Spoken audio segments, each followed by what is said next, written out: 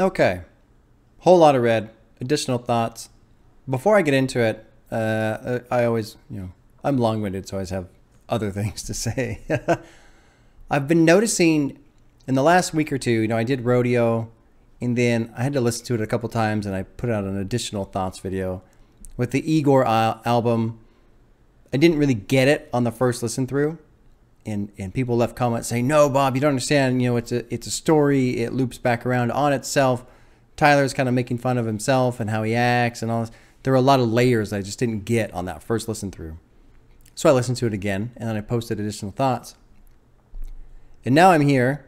I've been listening to a Whole Lotta Red. I probably listened to it five, maybe six times. And I'm posting an additional thoughts and I'm noticing I'm kind of starting to build like a natural little rhythm here with videos. And I want you guys to leave comments if you like this kind of cycle of I do an album reaction on Friday, Saturday, you know, on the weekend, post it up. I was thinking, you know, my son and I tried to do a video, it got blocked. I'll get into that in a couple days. Maybe on a Tuesday or a Wednesday, I do a, a video that's a live performance of a song from that album. and then Wednesday, Thursday, post an additional thoughts video on the album itself after having listened to it more because with me and, and music, even with bands that I like, it's so rare when I listen to an album the first time and I love it. It's very rare when that happens. Usually for me, for whatever reason, I have to kind of soak into the music for a while. And after I do that, then I tend to love it. So let me know in the comments if you like this idea of have a video about an album, an album reaction, and then a couple days later, follow up thoughts. Because I kind of like doing this. I'm assuming you guys will like doing it too. But, you know, if you're into it, just let me know. With all that said, Whole Lotta Red. Whole Lotta Red was very challenging on the first listen just because I've never come across an artist before who uses his voice the way that uh, Playboi Carti does. very uh, I call this hip hop techno. I know it's I guess it's like trap rap is what the official term is. I don't know the subgenres. To me, I call it techno because it reminds me some of these sounds that he uses reminds me of old school techno stuff, specifically Aphex Twin. If you look in the corner, well, you can't tell, but like right here, I've got an Aphex Twin song. I love Aphex Twin. He's one of the best he's kind of he's definitely old school. He's you know 80s, 90s. He's cranking out all this stuff. I think if you guys who if you were in love with Playboi Carti, especially this album, if you listen to some old school Aphex Twin, you might really like it. Now I'm gonna play a little bit here. Think about specifically some of the sounds that you hear in the back half of this album and pair it to something that sounds like this. This is a lighter tone.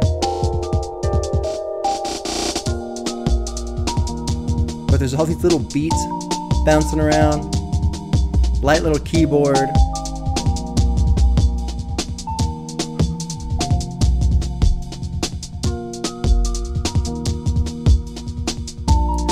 And it actually, I'm gonna. Well, I'll stop here. I'll stop here. This is the song is called "Flim" by Aphex Twin. He's got all these strange names for his tracks. Now, I don't play that to say that, oh, Playboi Carti ripped off Aphex Twin or he's trying to copy him. I'm not saying that at all. I'm just saying that specifically with the back half of this album, when I got into it, I started to enjoy it quite a bit because it reminded me of some of this old school electronic music. And it's really cool. Now, in terms of the album as a whole, the front half, I like I like in the front half how he's got like these really heavy bass beats that come in. You know, rockstar mode, pretty cool track. Go to the moon Moon's pretty cool. Stop Breathing, I, I do enjoy quite a bit because it's pretty aggressive. And, you know, that's where he's talking about how his, his cousin got killed. And he's just, I think that's probably the most aggressive track. Beano, I really like. I really like because it kind of has those lighter, almost retro sounds. I really like Beano. Jump out the house. Every time I get to this track, it cracks me up because the opening beat is great. I like the opening beat. I like that little. I like that. and then Playboi comes on and he's jump out the house, jump out the house, jump out the house, jump out the house, and I'm like, whoa, whoa, whoa, whoa, whoa, whoa, whoa, hold up, Playboi, hold up, hold up, hold up. I'm not going to jump out of my house. I'm not. I'm just not. Okay. I twisted my ankle the last two times I did that. I'm not going to do it again. Okay. Maybe I'll meet you halfway. I'll step outside the front door. How's that? you know, I'll do that. I'll just step outside the front door. And then Playboi comes back and he says, Jump out that bitch, jump out the bitch, jump out that bitch. And I think to myself, maybe, should I jump out the house? I mean, he's making a compelling argument here. Honestly, with, with that track, the lyrics for me, they just get, it's a little too repetitive. So that's just not a home run for me. Um, you know, there's there's been a lot of new subscribers, a lot of new uh, viewers with this channel. One thing I am not gonna do, I'm not gonna I'm not gonna pander. So if there's something I I don't like, I'm not gonna sit here and tell you, oh my god, all these songs are the best songs I've ever heard. No, but I'm also not gonna just shit on something because I don't enjoy it. Everyone has hits and misses, albums, songs, whatever. We all have our different tastes. So that's all. Jump out the house. Just a little too repetitive in terms of the lyrics. No big deal. Metamorphosis I like. I really liked Kid Cudi. Um, just his little quick performance, which is like, like a minute or two in the song, he bumped up my desire to listen to Kids See Ghosts, which has been recommended several times. So that that song specifically, I, I do enjoy quite a bit. Slayer's got a cool little sound to it. No Sleep. No Sleep I'm torn on because it's kind of like a clunky, disjointed song. But the song is about him not being able to sleep because he's having fucking nightmares about people getting killed. So even though I don't like the song as a song, I like the song in terms of its context. I like that it is bumpy and difficult to listen to because he can't sleep and he's having these terrible dreams. So I feel like it's fitting, even if I don't get into the song itself. New Tank has got a pretty cool little, right? Another thing that's challenging about this album, there's 24 tracks.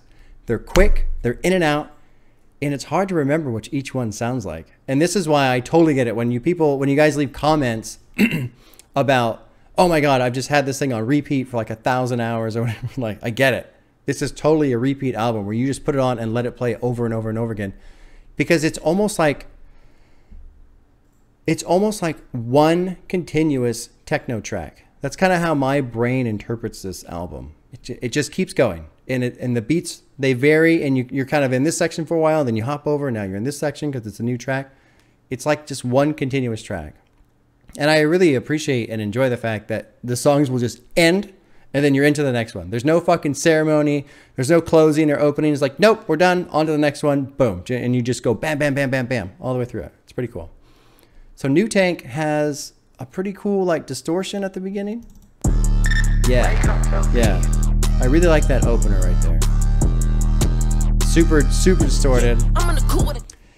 Teen X, I'm split on. Ultimately, I don't really care for the track because, again, the lyrics are repetitive, but I like the little double beat that's in there.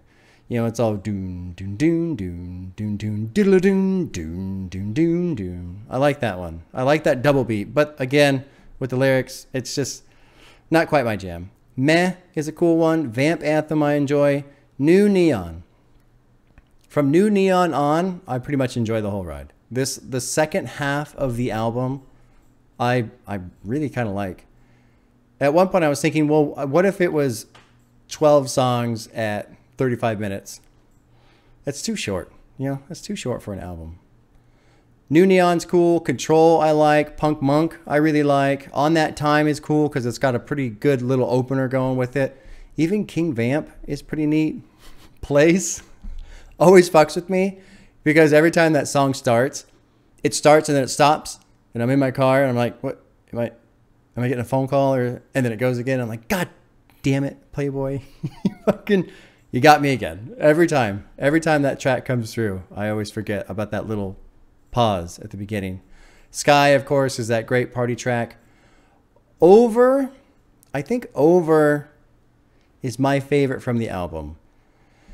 It's got a cool beat. Yeah, yeah. I like the little, that real simple synthesizer beat that he's using. And there's just something about that sound. And then the lyrics about how he's talking about, you know, how do we get back to where we were? All these people are fake. All this is bullshit. He's like frustrated with what what the current situation is, and he's kind of reflecting back on how things used to be and how come we can't get back to where we were before. Right? I like that track quite a bit. I Love You, I Hate You is a good one. Die for Guy is a good one. Not Playing is a really cool one. I like the opener for that. And Feel Like I'm Dying. God, that's almost one of my favorites too because it's just got this light, floaty sound. And it surprises me because I do enjoy heavy rock and, and hard beats and distortion and all this stuff. It surprises me that I enjoy the back half as much as I do. But then I remember it reminds me of these old school techno tracks.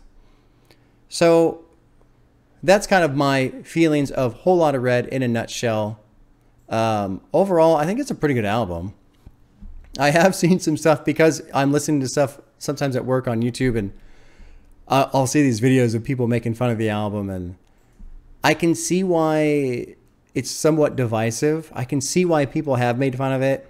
There are sections where it's like you gotta wonder what the fuck is this guy doing because the lyrics do get a little repetitive and maybe the beats sometimes. But what's cool about Whole Lotta Red for me, and anybody who's a big fan of Travis Scott will also enjoy this. This album has made me enjoy rodeo so much more. I think I said this during the reaction video where I felt like because this guy is pushing so hard on using his voice as an instrument and all these different effects and these beats and stuff like that, that I would be able to go back to listen to Rodeo and appreciate that album more. And that was absolutely true. I listened to Rodeo, I think, two, maybe three times this week since doing the reaction for this album. And I feel like I totally get Rodeo now. I totally understand why people are so into that album. I could fully hear the production quality in Travis's voice and all the different effects that were going into it. And because he doesn't repeat his lyrics as often, I was able to enjoy Rodeo just even more so. Now, I'm not trying to say that that album is better. It's just different. Those two albums, Whole Lotta Red and Rodeo, even though they they might exist within the same subgenre, I don't know if I would compare them to each other. They're both pretty different. I think on the surface they seem the same, but when you get into what's going on, they're pretty different. Um, oh shit, I was gonna say something and I forgot. It has nothing to do with the beer I've been drinking. Nothing to do at all. What was it? God damn it. I lost it. Lost it. Well, there you go. Whole Lotta Red. I appreciate there were some comments that you guys left about how one guy in particular said this is like jumping into a level two, level 10 game when you're level two or something like I can't remember specifically. I, that was one of my favorite comments. I really appreciate the fact that you guys are recognizing this is somewhat of an extreme album to get into for someone who's new to hip hop because I did struggle Oh, that's what it was. You have to remember that I've been listening to rock for 30 years. 30 years of listening to lyrics, hearing lyrics, trying to understand, interpret, find deeper meaning, apply them to my own personal life. Lyrics all the time. I remember being a kid and listening to songs and having the songs completely wrong because I didn't understand the lyrics but then still trying to decipher what the singer was talking about and all this stuff. So for me to go from listening to lyrics for 30 years and then to come to this guy who you're really not supposed to listen to him as a as a lyricist, but as a vocal sound, it's like trying to run backwards. You know? We can all run forward no problem.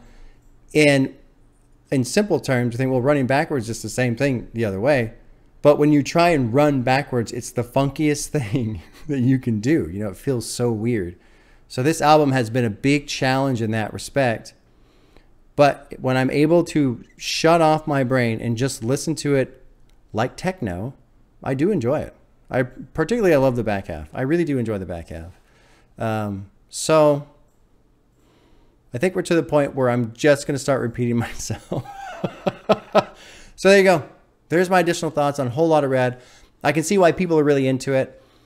I can see why people have it on repeat. I mean, I was listening to it on repeat basically, and it's a quick album. It's so cool that it's 24 tracks and you're just bam, you're right through it and then it's starting over again. And because of this, I was able to go back and listen to Rodeo and enjoy Rodeo a lot more. So I thank you guys who suggested both Rodeo and then this one and with such urgency because I feel like I've got a broader spectrum on hip hop now, on the sounds that exist within hip hop. And this pushed my own envelope more so that I can get into a mindset that I never had before. So it's good. It's all good stuff. This is all part of the journey into hip hop, which is the core of this whole channel. Um, last thing I'll say with this new kind of natural rhythm as far as doing an album and then a couple days later having additional thoughts. What I'm also going to do on the additional thoughts video, for those of you who are still here, I'm going to announce the next album that I'm going to react to because it kills me a little bit inside that when I post the video, I have to put who's in it because, you know, that way you guys know. But I always want it to be a surprise. I always want to have this moment of suspense, like right now, where I'm making you wait just a couple seconds before you find out what the next album's to be. Next album, Friday, Good Kid, Mad City, Kendrick Lamar. I really, really, really want to get back into Kendrick Lamar. You know, with Rodeo and Whole Lotta Red kind of being a departure away from lyrics, which was a good experience. It's time to get right back into some lyrics. And from what I've heard about Kendrick, he's the best of the best. So I'm very excited. That's coming Friday. Good City, or Good Kid, Bad City, Mad City, Kendrick Lamar. Cheers, y'all. Thanks for coming along on this journey. Thank you for being so. You guys have been cool in the comments, but you know, with my with my attempt to try and just be as open minded as possible, it doesn't work if you guys aren't there on the other side saying, "Dude, check this out. You didn't quite get this. Here's why this is so awesome."